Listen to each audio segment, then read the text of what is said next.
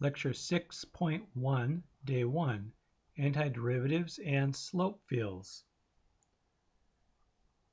This is a picture of two telescopes at Kitt Peak National Observatory in Arizona. And to give you a sense of scale, if you look right here, this is an awning above the door, and then there's an elevator to the top. First, a little review. Consider y equals x squared plus 3. Then y prime equals 2x.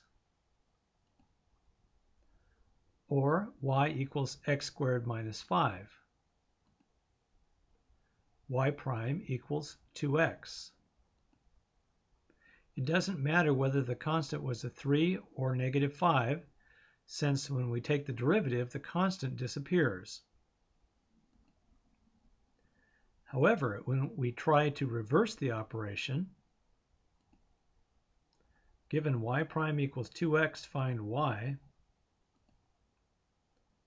we get y equals x squared plus c. We don't know what the constant is, so we put c in the answer to remind us that there might have been a constant. If we have some more information, we can find c given y prime equals 2x and y equals 4 when x equals 1, find the equation for y. First we find the antiderivative and get y equals x squared plus c. Then we plug in our initial values, y equals 4 and x equals 1. Solving for c, we get 3 equals c. So our original equation must have been y equals x squared plus 3. This is called an initial value problem. We need the initial values to find the constant. An equation containing a derivative is called a differential equation. It becomes an initial value problem when you are given the initial condition and are asked to find the original equation. Initial value problems and differential equations can be illustrated with a slope field. Slope fields are mostly used as a learning tool and are mostly done on a computer or graphing calculator, but a recent AP test asks students to draw a simple one by hand. We will start with y prime equals 2x. We pick a value for x and a value for y, in this case 0, 0. So y prime equals 0.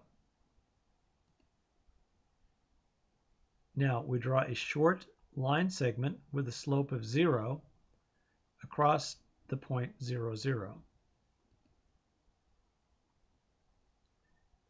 If we choose x equals 0 and y equals 1, y prime is still 0. So we draw another line segment with a slope of 0. If x is 1 and y is 2, once again y prime is 0. So we draw another line segment with a slope of 0. And you can see where this is going because there is no y in the derivative equation, it doesn't matter what y is. If x is 0, we're getting a slope of 0. So we could keep filling these in, but they're all going to be horizontal segments. So let's move over. If x is 1 and y is 0, the slope is 2. So now I draw a line segment with a slope of 2.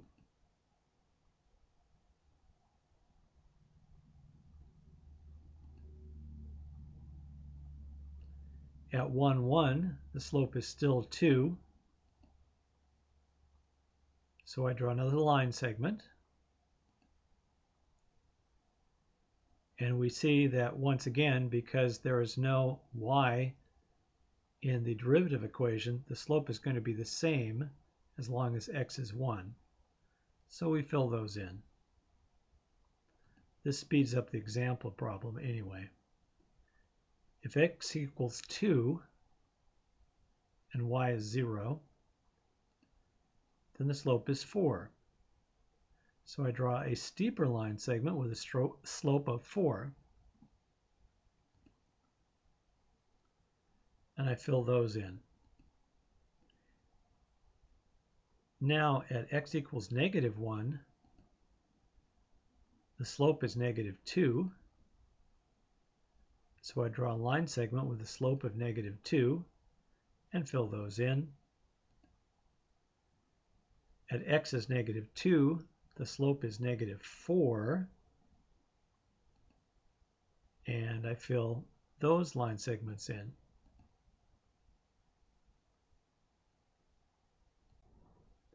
If you know an initial condition, such as 1, negative 2, you can sketch the curve.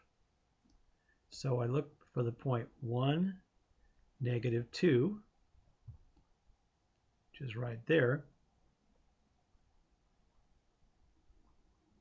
And I follow the line segments in both directions to draw the curve.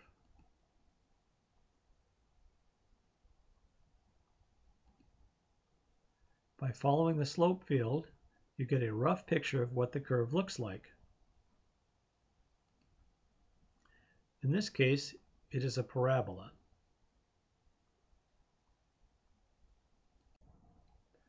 For more challenging differential equations, we will use the calculator to draw the slope field.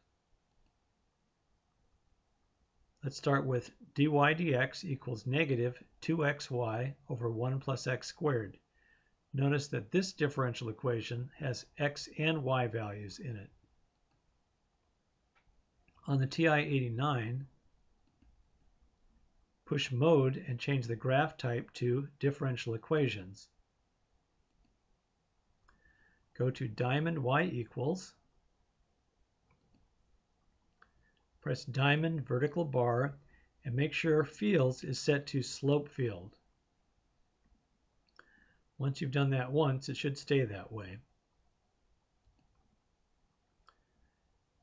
Now go to diamond y equal and enter the equation as y1 prime equals negative 2 times t times y1 divided by parentheses 1 plus t to the second.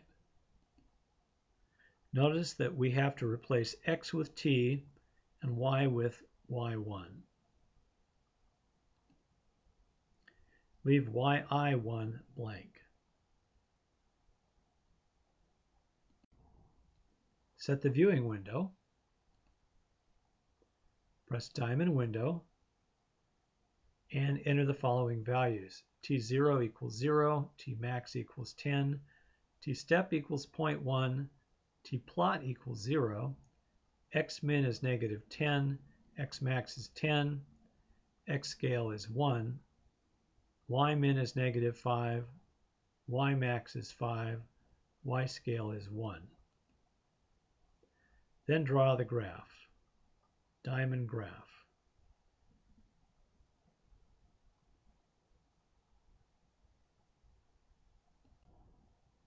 Be sure to change the graph type back to function when you are done graphing slope fields.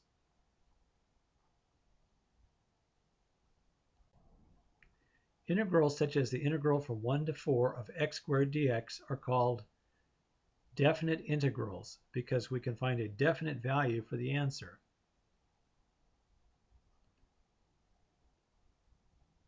The integral from 1 to 4 of x squared dx is 1 third x cubed plus c, evaluated from 1 to 4, or 1 third times 4 cubed plus c minus 1 third times 1 cubed plus c, or 64 thirds plus c minus 1 third minus c, and the c's cancel out.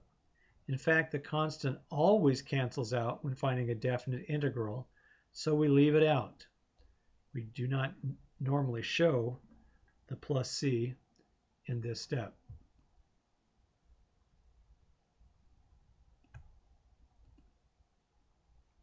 So our answer is 63 thirds or 21.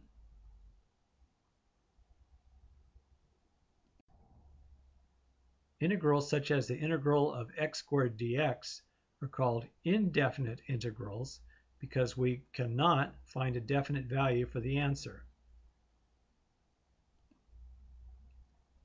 The integral of x squared dx is 1 third x cubed plus c. When finding indefinite integrals, we always include the plus c.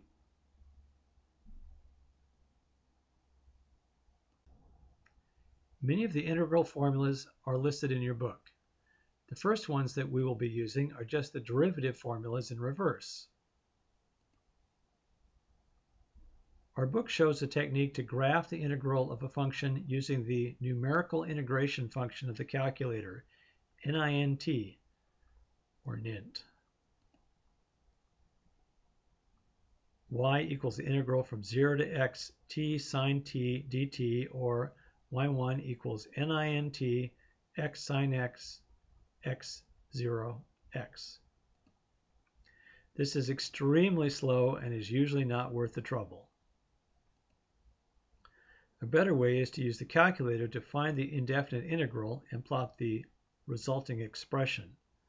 That way the calculator doesn't have to redo the integral every single pixel across the screen.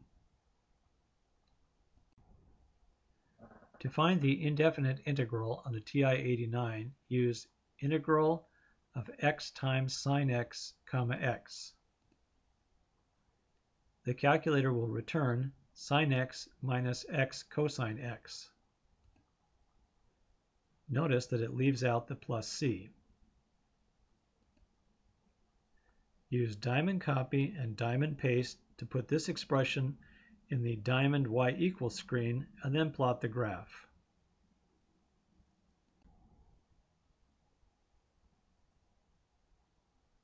And there we have it.